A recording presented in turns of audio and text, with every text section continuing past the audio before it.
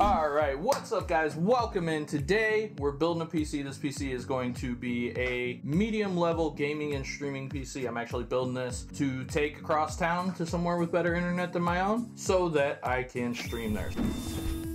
All right, so first things first, we got a list of parts here. We've got a Ryzen 7 3700X. We got a B550 Tomahawk motherboard. We've got 32 gigs of Corsair Vengeance RAM because it's cheap and it's reliable. Crucial P3 drive, that's a one terabyte drive. We've got Vetroo V5 cooler, which should be plenty for the Ryzen 7. We've got 750 watt power supply, so that way, if we wanna upgrade in the future, we've got plenty of space to do so. Uh, and then we got some some old fans from a previous build. I think there's actually Corsair in this box. I don't know why. They're in a uni box. And then we've got a Corsair 4000D case. And let's get this case out. All right.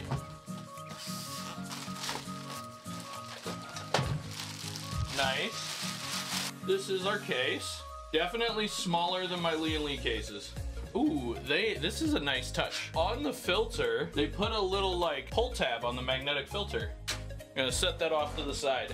The best bench for building out your motherboard. Now, when you get your motherboard out, what you're gonna have usually, you're gonna have some SATA cables. These are used if you're connecting like a hard drive or an SSD. Um, we today are using an M.2 drive, so we're not even gonna need these. They give you a nice MSI logo sticker there. They give you some M.2 screws. Those are important. Don't lose those. Let's get this bad boy out of here.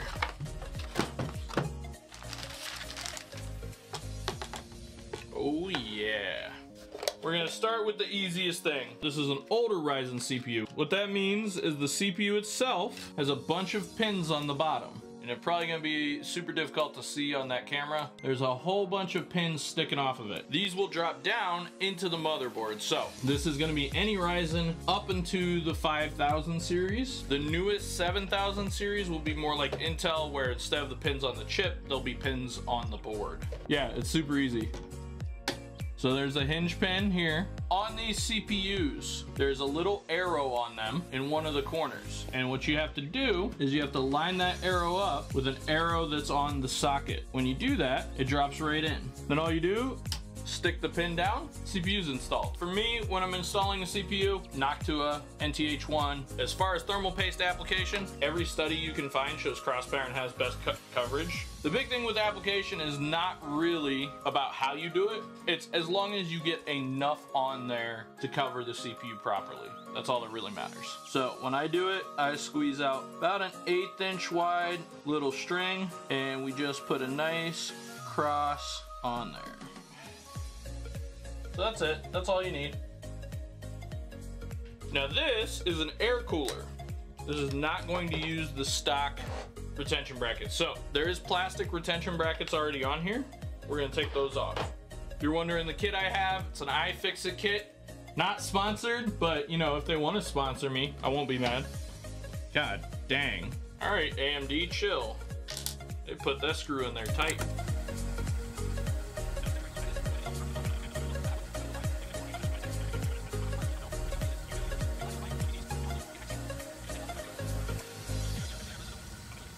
All right, now on this one, the way the retention plate on this works is this comes with a couple of brackets. These are going to mount to this, and then we're gonna screw these brackets into the motherboard.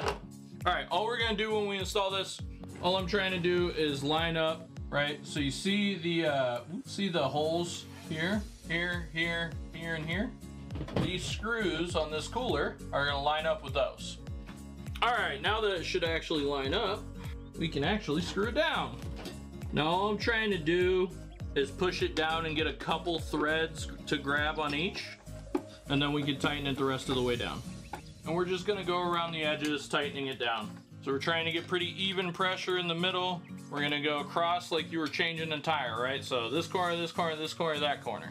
Top right, bottom left, bottom right, top left. All right, now these screws not all coolers will have this, but these screws have tension springs on them, and I'm going to show you guys in just a second what that looks like. So essentially, the spring is what creates the proper tension for the cooler. So these screws will bottom out on the bracket when they're tight enough. So you see the springs? These springs here on these screws are what creates the tension. You screw them down till they're snug. and that's it. All right, so we got some Corsair RAM. Uh, with older gen Ryzen, usually the highest speed you want to go with is going to be 3200 megahertz. With 5000 series Ryzen, um, you could go stable straight out of the box, just about any RAM that's 3600 megahertz. You can run it up to 4000 megahertz, but uh, 3800 and 4000 speed RAM, a lot of time, takes some tuning. Somebody's gonna give me in the comments below when I post this on YouTube for saying megahertz. Mega transfers per second instead of megahertz. Is that better, YouTube? Okay, that's for you. On your RAM sticks, guys, you're gonna see there's a slot. There's a slot on the motherboard, and all you're gonna do is make sure you line that slot up. And then inserting these is very simple. There's some push tabs here, right? You push the push tabs down. Now for a Ryzen system, you wanna install these. If you only have two sticks and you've got four slots, you're gonna install them in the second and the fourth slot first. If you only have one stick, you would install it in the second slot. Then you just push down till you hear that click. Did you guys hear that click? Just gonna line it up in the slot, push down evenly on both sides with your thumb, but that's it. That's all you gotta do to install RAM. Once we've got our, our cooler on and our RAM installed, uh, next thing we need to do is put in the storage. So for that, we've got a one terabyte Crucial P3 and the reason I went with that is because right now this drive, and uh, I can put a link to it, but this drive is like 60 bucks for a terabyte. It is super cheap. On this motherboard here, there are two spots for drives. There's one that's right under the CPU, and there's one down here at the bottom. Now, the one that's right under the CPU is usually going to be the one that you want to use. Um, on most motherboards, the one closest to the CPU is going to be, especially newer motherboards, that's going to be a Gen 4 drive, so it supports faster speeds. On this system, uh, it has, it comes with some heat spreaders, which is what this is that I'm unscrewing right now. These heat spreaders help keep your drive nice and cool cool and they do make a big difference. Usually they'll have a thermal pad on the back. Make sure you remove this plastic. If you don't remove this plastic, this ain't gonna do shit. Always double check and make sure you remove the plastic. Now as far as installing uh, M.2 drive, all you gotta do, there's a spot right here for it. Line it up in this little tower that's here. Push it in and then it's gonna stick up in the air like that at an angle. So you can see it sticking up in the air. All you're gonna do is push down and put a screw in the back of it once you've got it lined up in there, okay? Now that's nice and snug. Now, all we gotta do is stick this fan on here. When you're going to stick the fan on, pay attention to where the wires go. Make things easy for yourself. I am putting it so that the wires for the fans are down at the bottom. So we'll be able to route them right up through the top of the case and out of the way.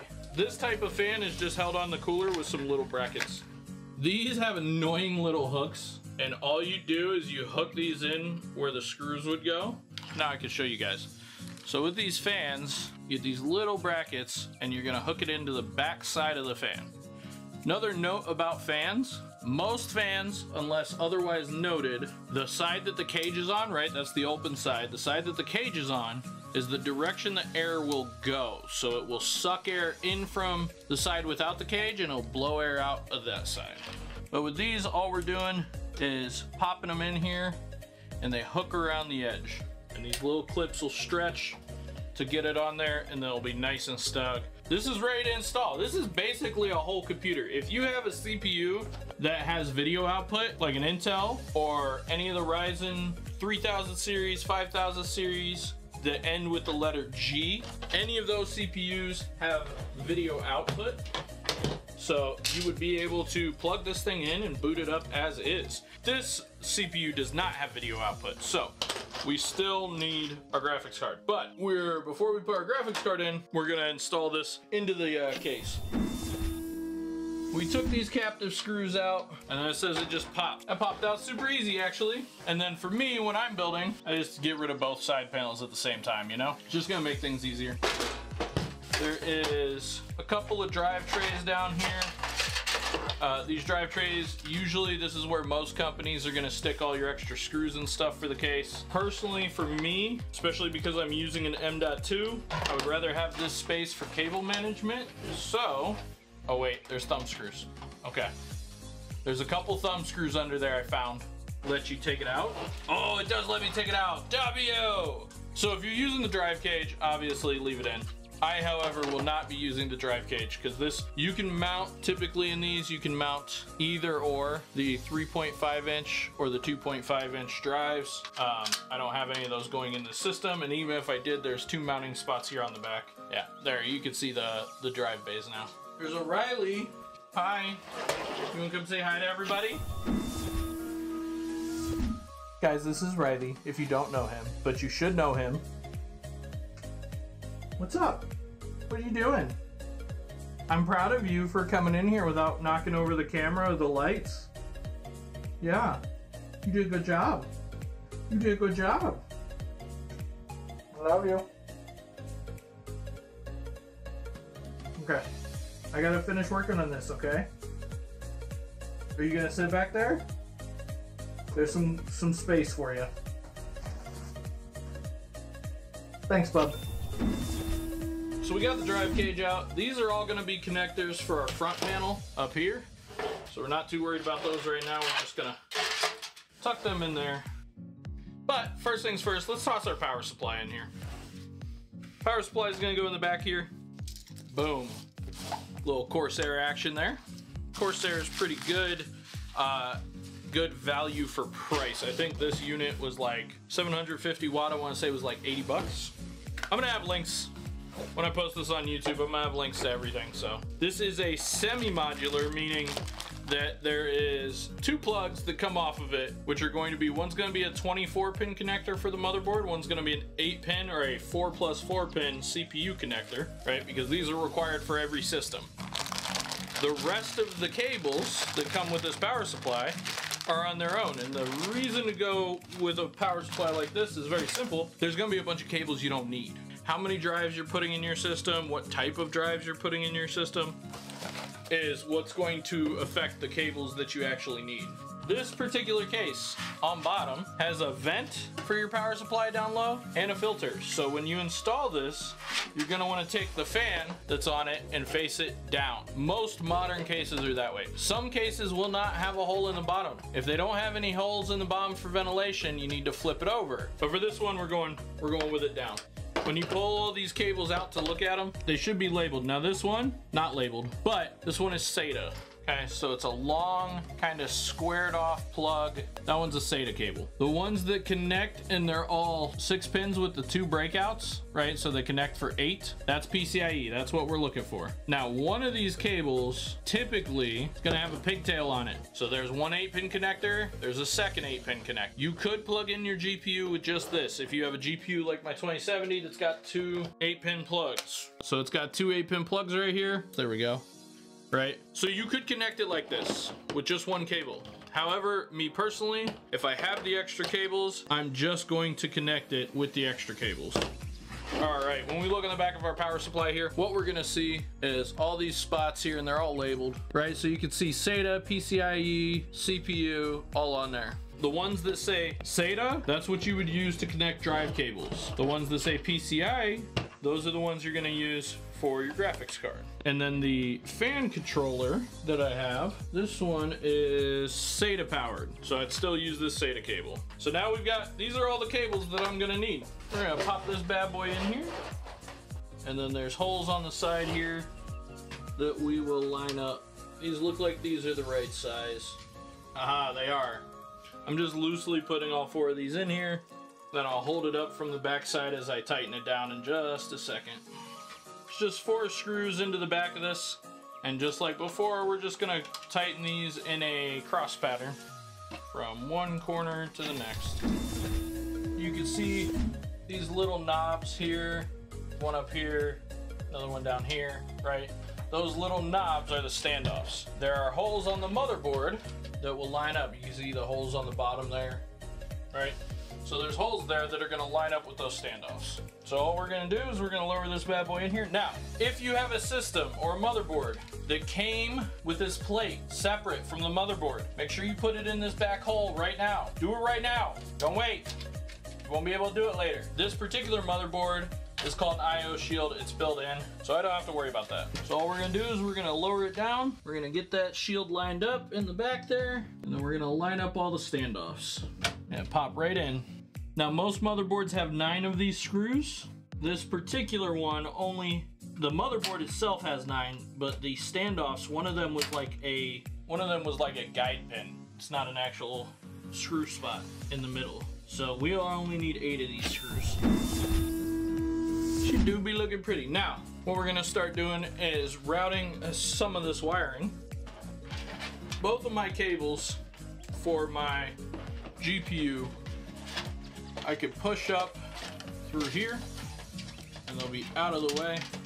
So the 24 pin connector is gonna come through this side grommet. So the 24 pin connector on your motherboard is usually gonna be up here on the side. Don't worry, this connector can only go on here one way. So we'll push this in and then that's just gonna press right into the motherboard. Now my other connector I need is all the way up here in this top right corner. That is my CPU connector right here. On the back side of this, turn this so you guys can see it. So there's a couple holes up here. We're just gonna route this up through one of these holes. Looks like the best one will be this middle one. This is the most time consuming part of any PC build, guys, is routing cables. All I'm doing right now is plugging in this CPU plug on the front side, but my fingers are too fat to fit in here. Oh, I'm real close though. I'm real close! From the front side on that one, I don't think you guys will be able to see it very well. But that's kind of the point, is that you can't see it very well. So you can't, is that corner cable way up here in the top corner. It's all out of the way. All right, so now it's a whole bunch of little wire connectors down at the bottom. A lot of these wire connectors are what comes from the case. So that's these wires in the back. Okay, so there's a USB-C connector right here. I see from my case, there's a USB-C connector. So we're gonna get this one out of the way first. So now my front on top of this case has a USB-C connector. Next, we have our audio cable. Now, this one is usually on this far corner. Yep. So on the back side of the case, I'm gonna run this all the way across underneath and out this hole on bottom over here. Now this this connector has one pin that's missing. So all you have to do is line up the missing pin on the plug with the missing pin on the board. There's a USB cable, USB 3.0 connector here on the bottom of the motherboard. So that's the only spot that this connector can go. That's a big wide plug there. We'll just get that connected down there like that. Just a big wide plug right here. And then the last thing we need to connect on the front gonna be our front panel connectors, which appear to be in this bottom right corner.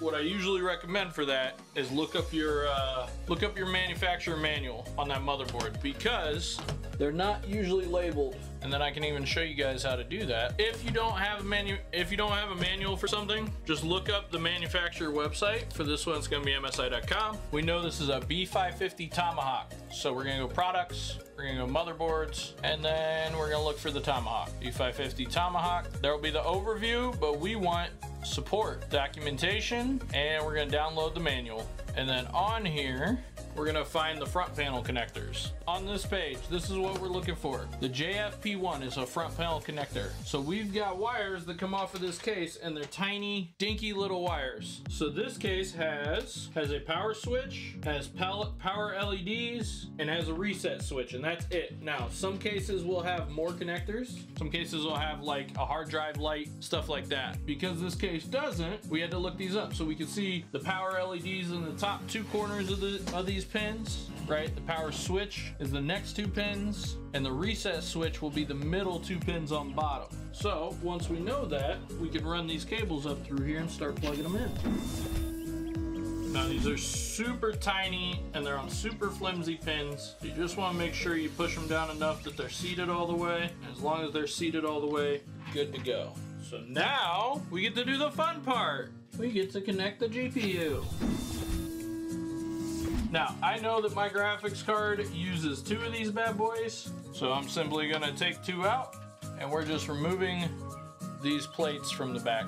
2070 Super, she a thick girl. She been around the block too. We've got this slot on the motherboard here. There's a tab on this, just like we had on our RAM. This little tab here, all I'm gonna do is push it down. But all we're gonna do is we're gonna push this all the way over to the side. We're gonna line up that slot, and we're gonna push it until we hear that nice click. And then all we're gonna do is as we hold this up here, we're gonna stick our screws back in on the other side. This thumb screw is gonna be the death of me. All right, you know what? Everybody on YouTube does this vertical. I don't want, I don't wanna. I don't wanna, I don't care. We're gonna do it this way. And you know why we're gonna do it this way? Because I was smart enough to set up a bunch of cameras. Once you've got your graphics card in, you've just gotta put these screws back in. And if you have fat hands and fat fingies like mine, it's not the easiest thing in the world. So once you got these screws put back in there, only thing we have to do is connect these two connectors, which we already had pulled our wires up for. So we're just gonna take our wire here, stick an eight pin on the first one, and then all you're doing is making sure that it's in there nice and snug. Usually it'll give it a nice little click as well. Sometimes it won't, as long as it's sitting flat all the way in, that's all that matters. And then me, because I like to be overkill, I do use two completely separate plugs. I don't use the pigtails, which is why I should probably get CableMod cables. CableMod, if you want to sponsor me, hi. I'll build all the PCs for you. And then I'm just gonna take and I'm gonna zip tie these extra pieces down out of the way. And the biggest reason I'm gonna zip tie these down um, to the bottom of the cables here is so that they don't hit the fans, right? Because there's fans on the bottom of my GPU and I don't want these cables in here loose and then bumping into the fans.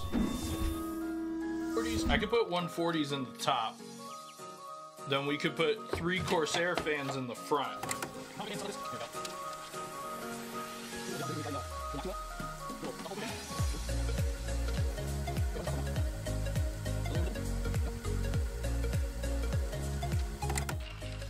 This one I'm gonna put with the wires down because that'll be the easiest way to route them out the back here.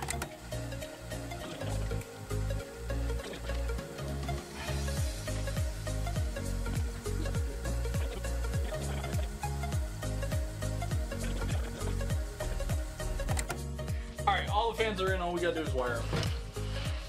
And then we're ready to boot her up and install Windows. Okay, now on this controller, it is labeled. So it goes one, one, two, three, four, five, six. So we want to plug these in in order so that that way when we do any software control, it'll light up in the right order.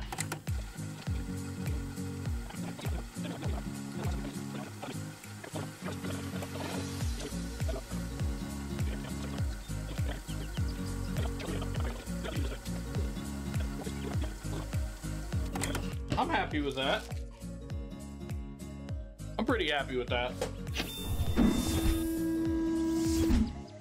To give you an idea of what you need to do.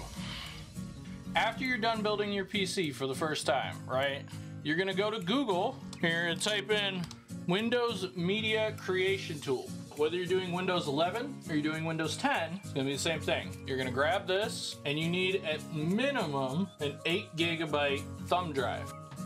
We're gonna go to our downloads and we're gonna grab the tool and we're gonna run it. In here, click create installation media for another PC. Windows 10, USB flash drive, Memorex.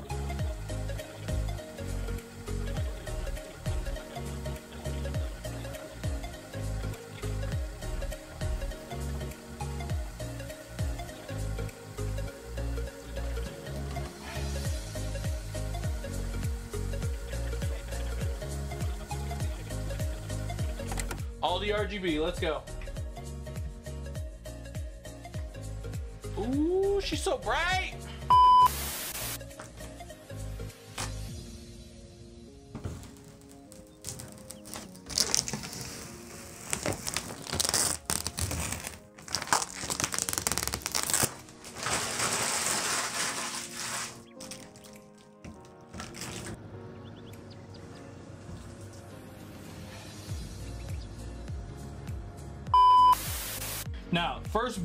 A lot of times will take a decent amount of time. Oh, wait, it posted. All right, now we're in the BIOS. Now, unfortunately, I'm gonna cover up the PC. We have a whole new system. We're gonna put a fresh Windows install on it. So we wanna make sure, right now it says boot priority, right? And it's got hard disk as the first thing there. So firstly, I wanna go to storage and see, does it see my drive right there? M2, there's my drive. So we're going to boot to the USB. We're gonna move this USB all the way to the front, and then all we're gonna do is save and exit. This time when it boots, We're going to let it do its thing. It's gonna boot to that thumb drive that's on the back of it, and that's our Windows installer. All right, looks like it's booting to the USB. It is. All we're gonna do is hit next. We're gonna hit install. Gonna say setup is starting. All right, now here it's asking for the Windows key. We don't have a Windows key, so we're gonna hit I don't have a product key. Then it's gonna ask you what type of install you wanna do. Now, if you plan on buying a Windows key, which you should, don't steal keys. You can get Windows keys super cheap. Kinguin.com is a very popular site for it. Get a Windows key for like 15 bucks, okay? Uh, depending on what software install you want, you would select it here. Now, me personally, I go Windows 10 Pro. Then it's just terms, and then custom install. It's going to show the allocated space here. This is my drive. This is the only drive we have. We're going to hit next, and then it's going to install Windows on that drive. Now, if you had multiple drives, you'd want to be very careful when you're selecting the drive that you put Windows on the drive you want. When it restarts, it should automatically tell your PC to change the boot from the USB over to the drive you just installed Windows on.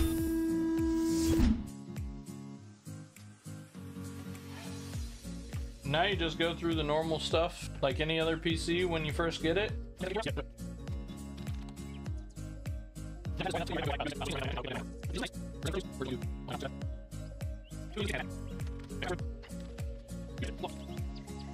All right, and we're in. Because we do have a AMD CPU, the very first thing I'm going to do is open up Microsoft Edge, and then we're gonna go download Opera because Microsoft Edge is terrible. AMD.com. On the AMD site, we're gonna go download support. We're gonna go drivers.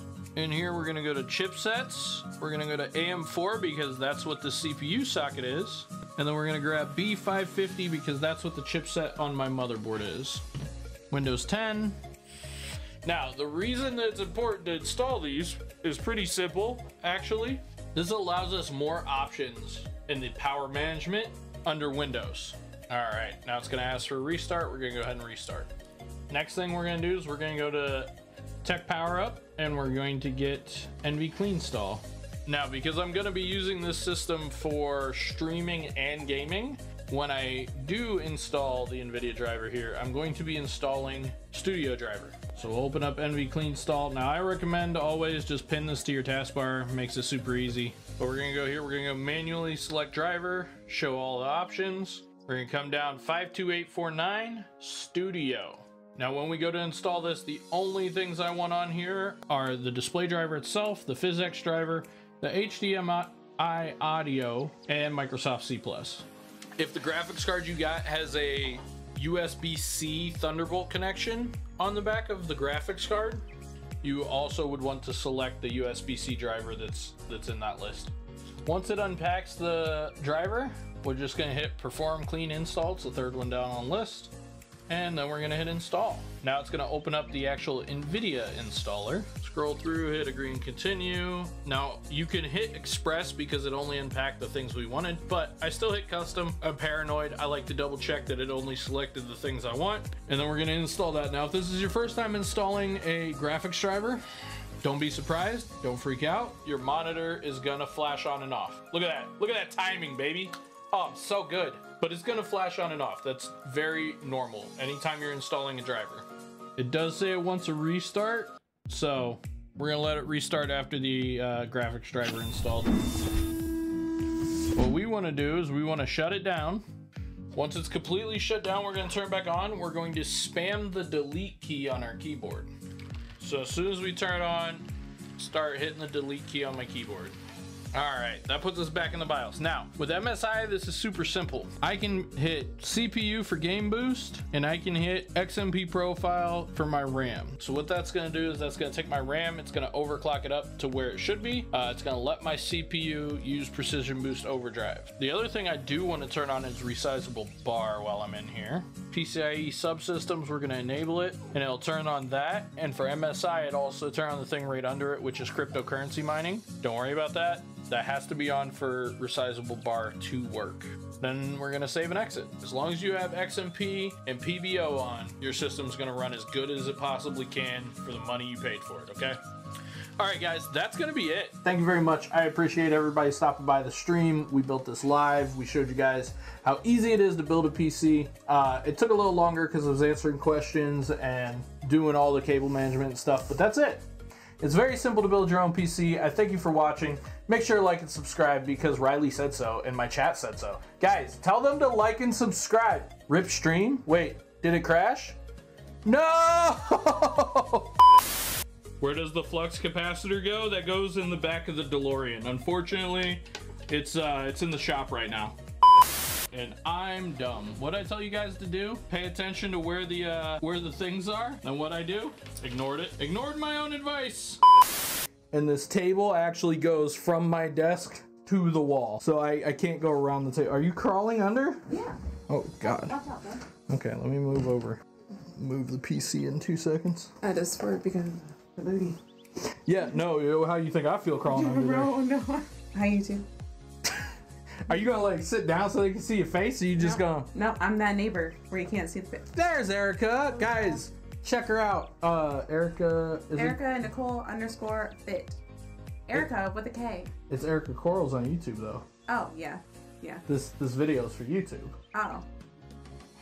Anyway. Erika Corals on YouTube. She does uh, leggings reviews and fitness content, so check her out. Anyway. Bye. Even now? Bye. Oh God, you bumped the camera. I just saw it. I just saw it do a little, a little wobble.